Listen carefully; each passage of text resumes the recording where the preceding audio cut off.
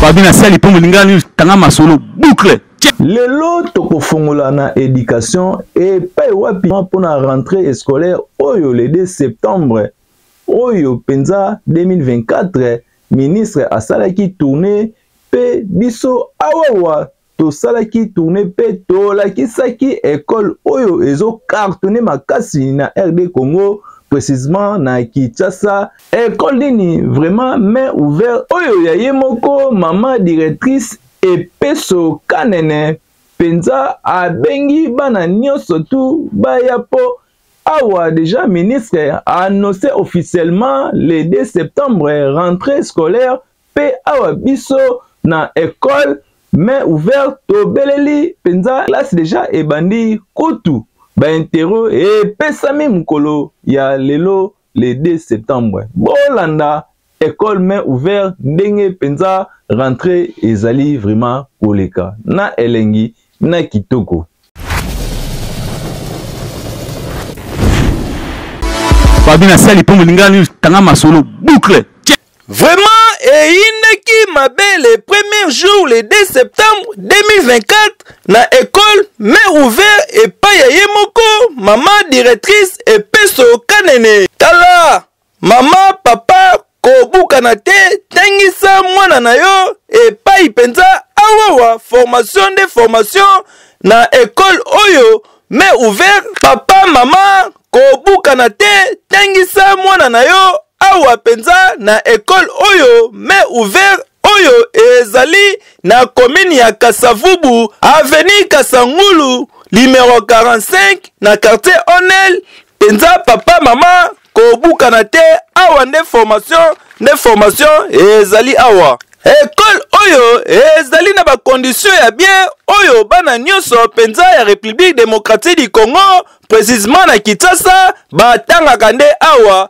po vraiment mama epeso kanene ye nde mpenza directrice ya solosolo oyo apesaka formation nde formation baeleve bapesi message na bango oyo na baninga na bango oyo bazali kotraine nanu na ndako basala mbangu baya na ekole mpo bango deja bazwi deja devoir awa mpo na premier jour kaka ya l'école bazwi déjà devoir yoka ndenge bapesi na micro ya lingala news sami tu reste à la maison reste encore à la maison devenir déjà la rentrée venez à l'école mais ouverte nous avons déjà commencé le cours na esengo wana nakotika bana mpenza bazwi kutu devoir Parent oyo penza mama Sylvie alobi boye pe apesi lisusu penza bana oyo bazali na ndako baya po ye bana nyonso plus de 7 deja bazali awa boyoka ndenge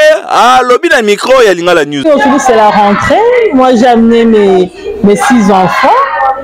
J'ai amené mes six enfants, aujourd'hui c'est la rentrée, ils sont là, ils sont habillés, ils sont prêts et l'ambiance est, est totale. Je viens de vérifier pour l'intégration de la petite. Je vois qu'elle est dans son bain, elle est là, elle est dans son assiette. Mais voilà quoi. Donc, contrairement à ce que nous avons appris, il paraîtrait qu'il euh, y aurait grève, il y aurait deux, trois autres choses là qui, pourraient empêcher la rentrée aujourd'hui. Mais non, les miens ont décidé, ils manquent jamais le premier jour de l'école et voilà, ils sont là, ils sont tous là.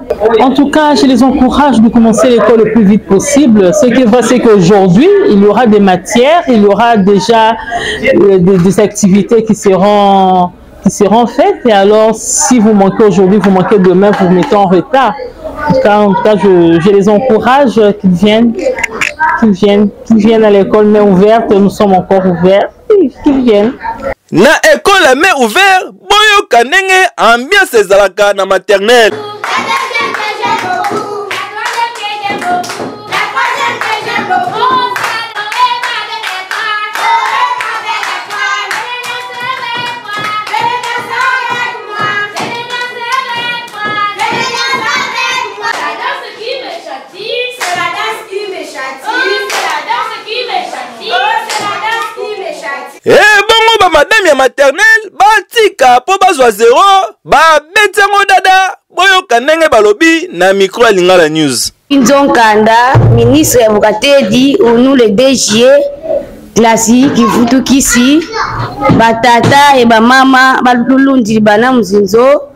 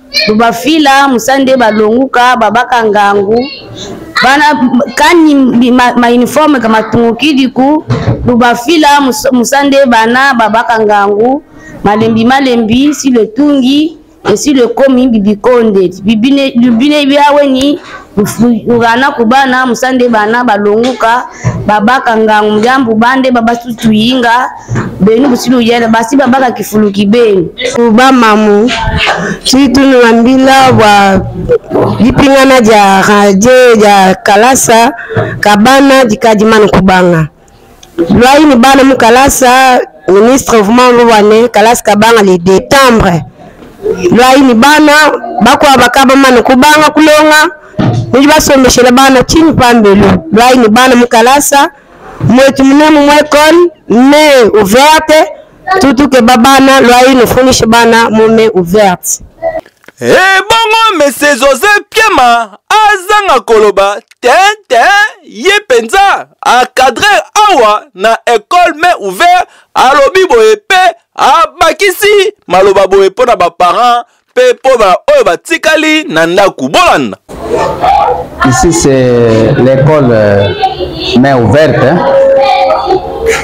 située sur l'avenue Kasangulu, numéro 45 commune de, commune de Kassavoubou, quartier Onel. Donc, euh, la rentrée a déjà eu lieu, comme euh, le ministre l'avait prévu, le 2 septembre 2024. Donc, euh, tous les anciens sont là, y compris quelques élèves.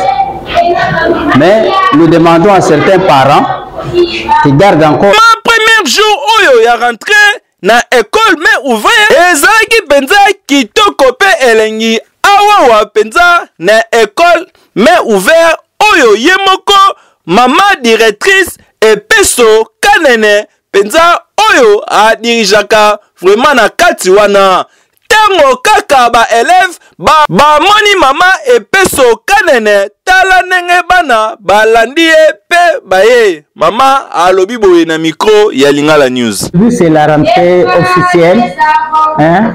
la date est fixée par l'état congolais surtout notre ministère qui a fixé la date moi en tant que directrice je dois respecter cette date c'est ainsi nous sommes là nous sommes là pour la formation de l'enfant parce que nous voulons que l'enfant qui, sort de cette école soit formé la tête, le cœur et les mains. C'est une formation intégrale pour l'avenir de ce pays. C'est regrettable pour nos parents actuels qui ne comprennent pas l'utilité des études, qui ne comprennent pas qu'est-ce que mon enfant sera demain tout commence avec les parents.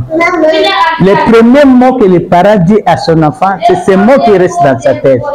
Si le parent envoie à son enfant la paresse, c'est toute sa vie. Il a gâché la vie de, son enfant.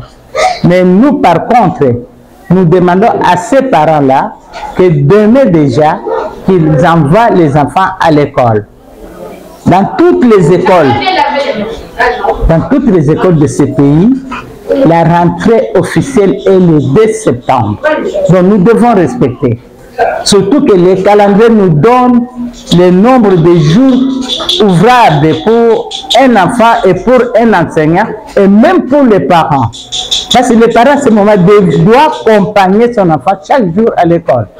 Hein? Ce nombre de jours ne peut pas être revu parce que j'ai laissé mon enfant à la maison et que la matière, par exemple aujourd'hui, il y a des devoirs de français qui sortent, des devoirs de mathématiques qui sortent, l'enfant étudie. La matinée, il y a l'adaptation. Tout ça, on ne peut pas garder l'enfant à la maison. Nami ça, Eh, topesa 3 jours 4 jours non non non non tu n'es papa mama ekoli eh, ya kotangisa mwana eza eh, kaka moko awa na kitasa mais ouvert awa nde formation nde formation mwana aye azwi formation tala neti mwana oyo aza nanu na 2 ans mais akoti deja mpo azoyeba deja kokoma mpe ayebi deja kotanga Eh, vraiment awa na école mais ouvert ezalaka nde boye baparent bosala mbangu mpenza bokomisa bana mpo place etikali moke awa mpenza na mai ouvert oyo ezali na komine ya kasavubu na aveni kasangulu limero 45 vraiment eza mosika te na komine ya Kasavubu. Ne oza mobimba na kati ya quartier Onel. Yaka mbangu toza kozela yo. Ezalaka nde boye. Fabi na sali po molingani tanga masolo boucle